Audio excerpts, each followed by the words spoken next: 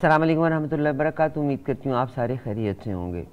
Tension tension tension اور کچھ بھی نہیں ہے، یہ دنیا ہی ٹینشن ہے۔ آپ یقین کیجیے گا کہ ہمارے کینیڈا کے جو پرائم منسٹر ہیں، جسٹن ٹروڈو، انہوں نے بڑی پیاری بات کی۔ انہوں نے کہا کہ دس از اے مینٹل النس ہے اس کی وجہ سے people are so much divided poles بن گئے ہیں۔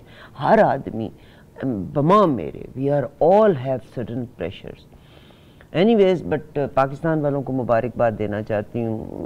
تھرو تھک اینڈ تھن ہنستے بولتے گزرتے ہیں. ابھی جب ریسنٹلی میں ایک سروے دیکھ رہی تھی جس میں ہیپی کنٹریز کی اور ہیپی لوگوں کی بات ہو رہی تھی اس میں پاکستان کی پوزیشن بڑی اچھی ہے. ٹھیک ہے جی خوش رہو، آباد رہو، برداشت کرتے رہو. اپ ٹو یو آج کا پروگرام میرے ساتھ uh, ڈاکٹر سمیع اللہ ملک صاحب ہمارے ساتھ اس پروگرام کو زینت بخشا کرتے ہوتے ہیں. بیٹر ٹروتھ آپ کی ویب سائٹ ہے.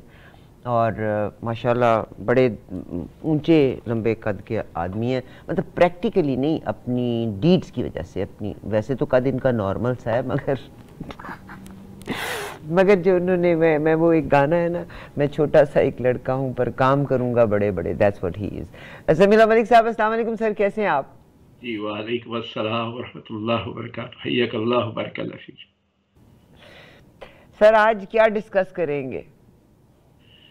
یہ تو جی شیر کی ورزی ہے بچہ یہ ڈکٹیٹرز کا دور ہے۔ آپ گائیڈ کریں آپ کیا بات کرنا چاہتے ہیں کس ٹاپک پہ بات کریں؟ مسائل تو بہت سارے ہیں مگر آپ ڈکٹیٹ کریں۔ ہم میں میں یس یس کہتی چلی ہوں۔ I really surprised that how kind you are today آپ نے آج تک مجھے نہیں بتایا کہ آپ کس بات سے شروع کریں گی کون سا سوال پوچھیں گی۔ آج مجھ سے پوچھ رہی ہیں کہ میں کسی چیز شروع کروں گا۔ میں تو ہمیشہ آپ کے ترکش کا جو نکلے ہوئے تیر ہیں ان کے سامنے سینہ کھڑا کر کے کھڑا بیٹھ جاتا ہوں۔ پتہ نہیں کیا تیر آئے گا، کون سا آئے گا۔ فرمائیے، جو بھی پوچھیں گے انشاءاللہ حاضر ہوں۔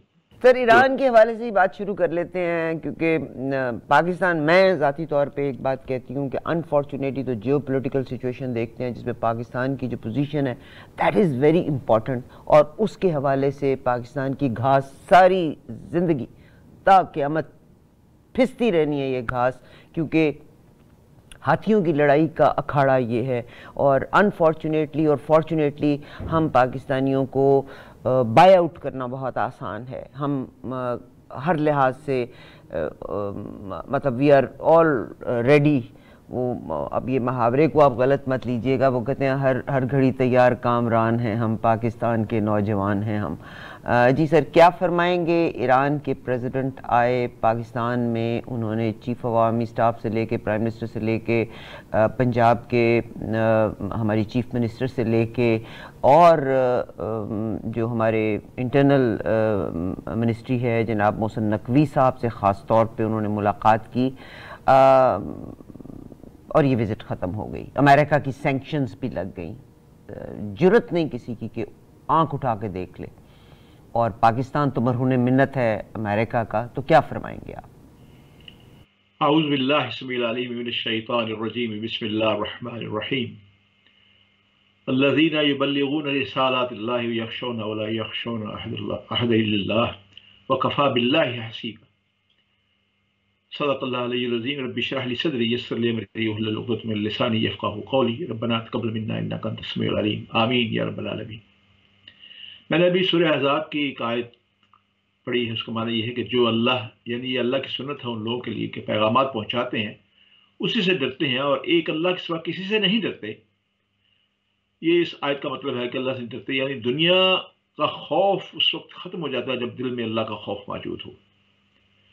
اب آپ نے فوراً ایران کی طرف آ جاتا ہوں، آپ بتائیں کہ ایران کے ساتھ آج سے کچھ ماہ پہلے ہمارے تعلقات کتنے کشیدہ ہو گئے تھے کہ ایران نے پاکستان پہ، بلوچستان میں ایک علاقے پہ حملہ کیا، اس کے جواب میں پاکستان حملہ کیا، حالات بہت بگڑ گئے تھے، لیکن یہ ہے کہ الحمد للہ سما الحمد للہ اس کے فوری بعد جو ہے، دونوں فریقوں کا کل آ گئی کہ دو بھائی جو آپس میں جب لڑتے ہیں تو پھر خسارہ اپنا ہی ہوتا ہے، تو اس لیے دونوں نے بندی کر کے لڑائی کو بند کر دیا۔ اور اس کے بعد یہ بہت اچھا جسٹر ہے کہ ایران کے صدر جو ہے، وہ پاکستان کے دورے پہ آئے اور پاکستان کے دورے پہ آنے سے پہلے ہمارے وزارت داخلہ میں جو دوڑ مچی لگی ہوئی تھی مطلب امریکہ کا جو دباؤ تھا، وہ پریشر بھی آپ کے سامنے ہے، دہرانے کی ضرورت نہیں ہے۔ لیکن میں ایک ایک ڈیڑھ منٹ میں مختصر خاکہ آپ کے سامنے پیش کرنا چاہتا ہوں، جو میرے ذہن میں بھی آیا ہے۔ وہ یہ ہے کہ اس جنگ میں جو فری کا جو اسرائیل اور، اس دنیا میں جو جو خطہ جو آپ نے کہا کہ ہمارا خطہ جو ہے، ہر وقت لڑائی ہوتی رہے گی۔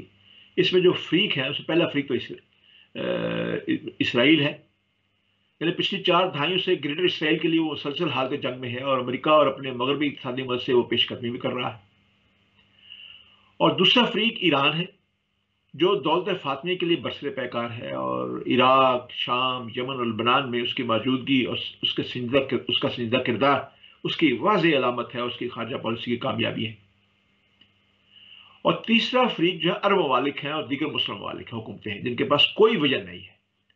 اپنی اپنی بادشاہتوں اور حکومتوں کا تحفظ ان کا ایجنڈا دکھائی دے رہا ہے، جس کے لیے وہ امریکہ پر بھروسہ کرتے ہوئے اسرائیل سے بھی توقعات وابستہ کرنے لگے ہیں۔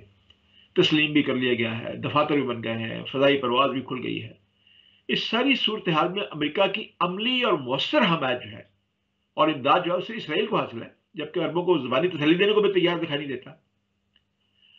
ہاں اس کشمکش کا ممکنہ چوتھا فریق جو ہے ترکی بھی ہو سکتا ہے جس کو ہم بلائے بیٹھے ہیں۔ جو خلافت عثمانی کے سنہری دور کو یاد کرتے ہوئے ماضی کی طرف واپسی کی سوچ رکھتا ہے۔ لیکن وہ ابھی پس منظر میں ہے اور اس کشمکش سے فائدہ اٹھانے کے لیے امکانات اور مواقع کی تلاش میں ہے کہ فریقین جنگ کی تباہی سے خوب کمزور ہو جائیں تو پھر وہ اپنی موجودگی کا اظہار کرے گا۔ یعنی اس وسیع تر جنگ سے اس عالمی جنگ کا ماحول قریب آ رہا ہے جسے نبی کریم صلی اللہ علیہ وسلم نے ملاح میں کبرا سے تعبیر فرمایا ہے۔ اس لیے ایران کو صرف تماشائی کردار سمجھنا اس جنگ کے پس منظر، تہ منظر اور پیش منظر تینوں سے آنکھیں بند کرنے کے مترادف ہوگا۔ اصل ضرورت مسلم حکمرانوں کا مل بیٹھ کر موجودہ تناظر کو پوری طرح سمجھتے ہوئے کوئی مشترکہ اجتماعی حکمت عملی طے کرنے کی ہے۔ اور یہاں پہ اہل فکر و دانش کی ذمہ داری یہ بھی ہے کہ وہ گروہی، علاقائی، لسانی اور قومی تصبات کے چشموں سے آزاد ہو کر بیدار مغزی کے ساتھ کھلی فضا زمینی حقائق کا جائزہ لیں اور امت مسلمہ کی صحیح رہنمائی کے لیے اپنا کردار ادا کریں۔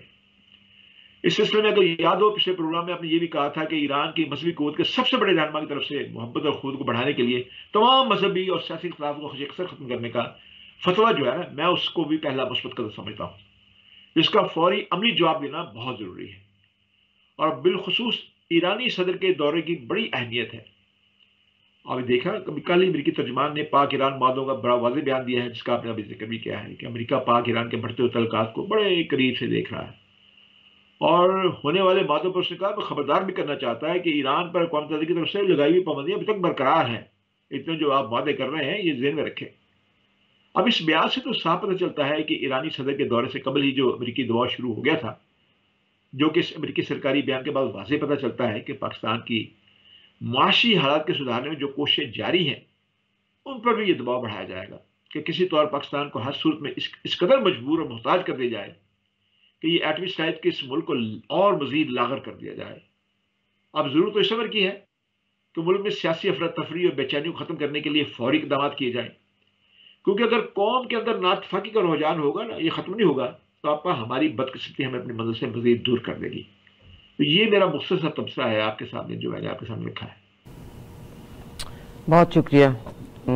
بہت شکریہ۔ اور اگلی بات جو ہم کرنا چاہتے ہیں کہ ایران کے جو پریزیڈنٹ پاکستان آئے ہیں، تو الٹیمیٹلی کوئی میمورینڈمز بھی سائن ہوئے، اگر ہوئے تو وہ کون سے تھے؟ کن چیزوں پر بات ہوئی؟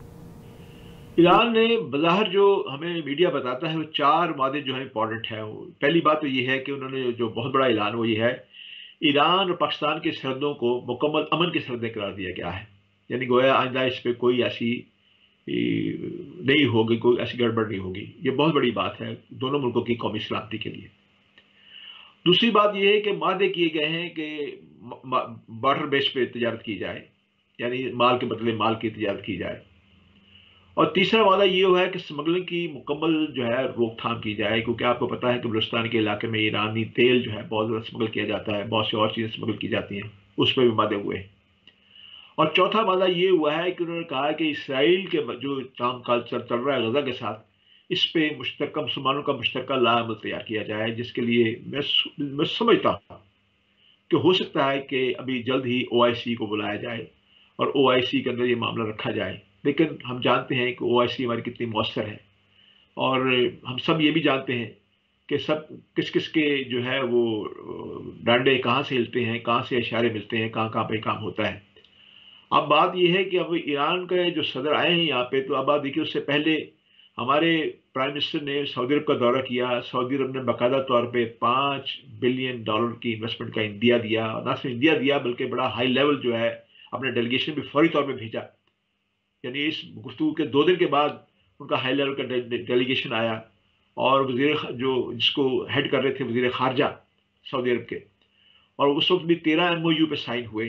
اس میں باقاعدہ طور پہ یعنی وہ بھی ایک بڑی نوید اس سے آپ دیکھیں کہ ہمارے پاکستان کا جو اسٹاک ایکسچینج ہے، اس میں بڑا اچھا اثر پڑا کہ ہمارے جو اسٹاک ایکسچینج کے حصص ہیں، وہ تقریباً ایک ہی تاریخ ریکارڈ کر دی بیس سال کے اندر اتنا وہ آگے نہیں بڑھے جتنا وہ اس میں بڑے ہیں۔ یہ یہ زمینی حقائق ہیں۔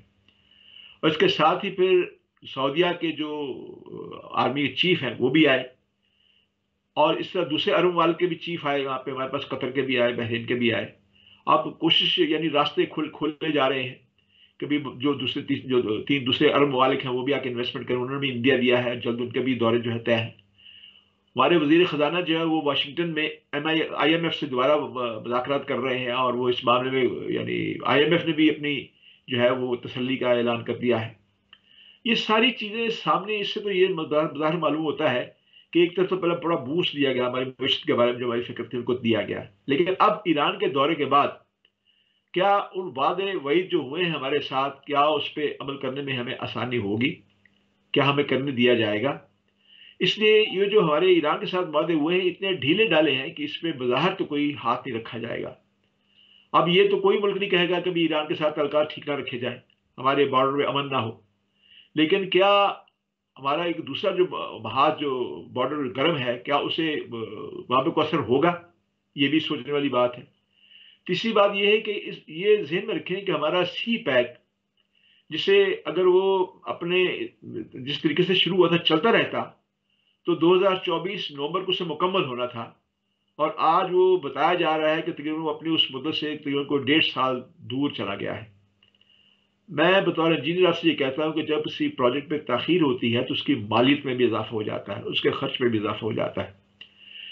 اس کے لیے اگر آپ کو یاد ہو تو آج سے دو ہفتے پہلے ایرانی بس کے اوپر چین کی چین کے انجینئر کی جو بس جاری تھی، اس کے اوپر حملہ ہوا، جس میں چینی مارے گئے۔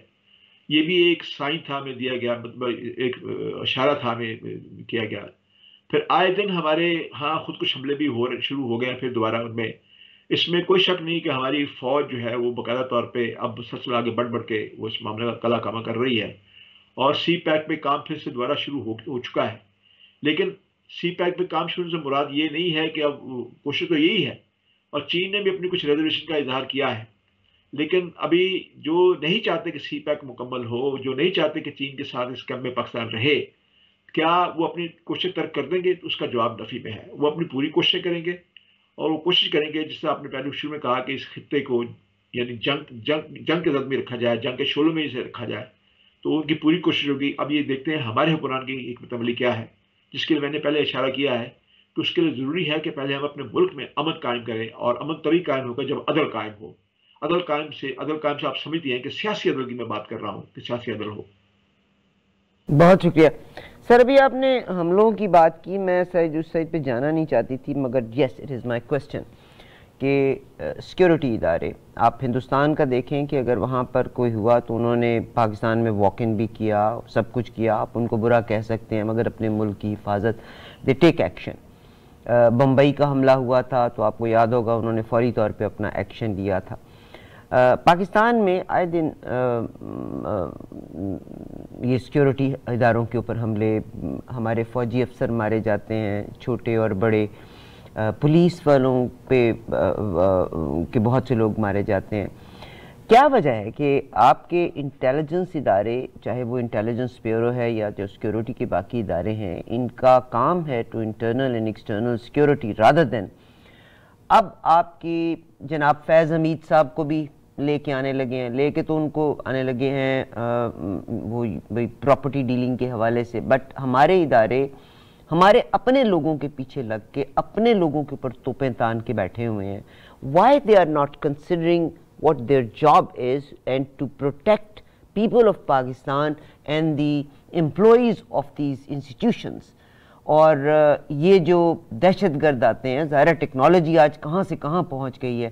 جب جیکٹس آتی ہیں، کیا ان کو پتہ نہیں لگتا کہ بمبارز آ گئے ہیں یا جیکٹس آ گئے ہیں خود کش ہمراہ؟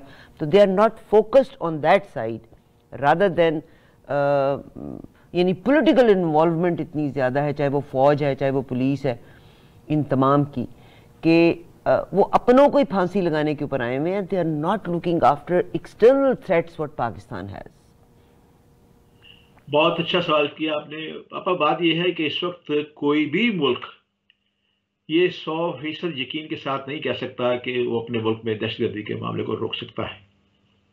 کہیں بھی کچھ ہو سکتا ہے۔ اس وقت بھی پورے یورپ میں، امریکہ میں سیکورٹی کے اوپر بے تحاشا چیزیں جو ہے استعمال ہو رہی ہیں۔ لیکن انہیں پتہ ہے۔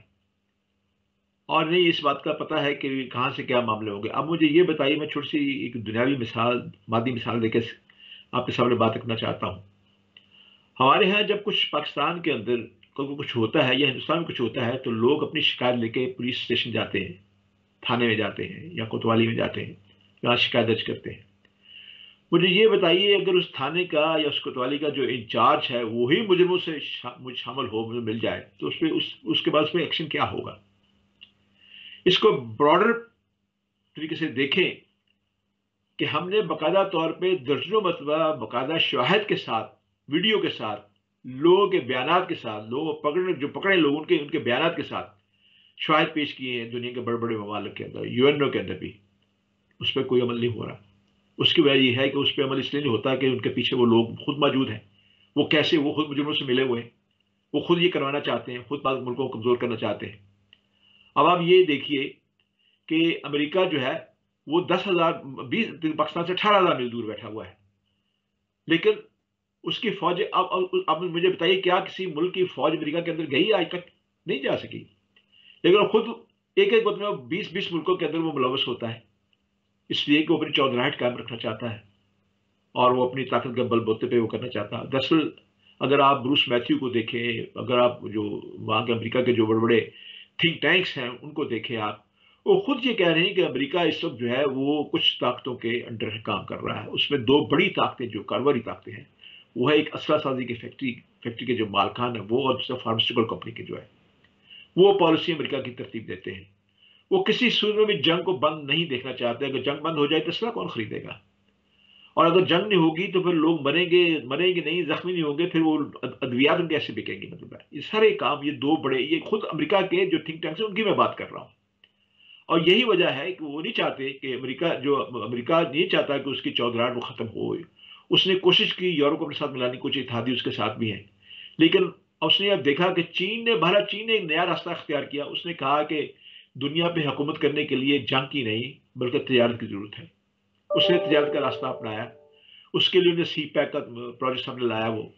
اسے اس نے پھر اس, اس, اس نے اس بار سی پیک سے یہ دیکھا کہ ایک تو اس کے اپنے ملک کی غربت دور ہوگی جو اس کا جو علاقہ تھا شنگیانگ سے آگے مسلمان کافی بڑا علاقہ۔ اور دوسری بات یہ کہ اس نے کہا اس نے سی پیک کو کنیکٹ کر دیا ون روڈ ون بیلٹ کے ساتھ۔ پھر افغانستان سے امریکہ کے انخلا کے فوری بعد چین نے وہاں پہ جگہ لے لی۔ اب چین وہاں افغانستان کے اندر ریلوے بھی تیار کر رہا ہے، دوسرے پروجیکٹ بھی کام کر رہا ہے۔ اب اسی کے ساتھ اگر آپ کو یاد ہو تو پہلے امریکہ کے کہنے پہ ایران کے ساتھ ہندوستان نتھی تھا۔ ہندوستان کو نکالنے کے لیے چین شامل وہاں پہ آ گیا۔ چار سو ساٹھ بلین ڈالر کے وعدے اس نے وہاں پہ کر لیے۔ اب چین کے بڑھتے ہوئے اقدامات کو روکنے کے لیے اور اس کے ساتھ اب دیکھیے رشیا کے ساتھ بھی فوری طور پر پنگا لے لی گیا یوکرین کا۔ پچھلے پروگرام میں آپ نے مجھے ایک مضمون بھیجا تھا جس میں آپ نے مجھے ایک بڑے مضبوط ریفرنس بھیجے تھے جس میں آئی ایم ایف نے خود اس بات کا اعتراف کیا تھا کہ یوکرین کی جنگ کے باوجود اس جو روس کی معیشت ہے وہ مزید بہتر ہوئی ہے۔ اب یہ تمام چیزیں جو ہیں یہ امریکہ کیسے برداشت کر پائے؟ اس کی چوبیس کلاس ختم ہو جائے میں مطلب ماشاء اللہ سمیع اللہ ملک صاحب کے تجربے کو تو کوئی بیٹ نہیں کر سکتا۔ سوال میرا بالکل ڈیفرنٹ تھا مگر آپ بالکل انٹرنیشنل لیول پہ اس کو لے گئے۔ میں تو انٹرنل پاکستان کی سیکیورٹیز کی بات کر رہی تھی۔ اور میں اس کی بات کر رہی تھی آپ بالکل ڈیفرنٹ سائٹ کے اوپر لے گئے۔ کوشش یہ ہے کہ ہم اپنی سیکیورٹی کو کر تو رہے ہیں۔ اب آپ دیکھیں ہماری ہر محاذ پہ ہم لڑ رہے ہیں بلوچستان میں بھی۔ ٹھیک سر میرا سر اگلا سوال آپ کے ساتھ کوئک لی کہ مجھے آپ بتائیے گا کہ جناب باجوہ صاحب ماشاءاللہ ریٹائر بھی ہو گئے، آج بھی انہی کی پالیسیز چل رہی ہیں۔ کیا ہوا یہ شادی پہ گئے میں اور وہ قرآن پاک جیب میں لے کے پھرتے ہیں کہ انہوں نے جناب قابل احترام مجیب الرحمن شامی صاحب کے ساتھ جو بات چیت کی اور انہوں نے قرآن اور اپنی قسم وسم کھائی ہے؟ تو مطلب what is happening politics politics politics بجائے اس کے کہ ہم کوئی اور ملک کی ایشوز کی بات کریں پرابلمس کی بات کریں. اوپر سے لے کے نیچے تک ہر بندہ تو بیگر ہے.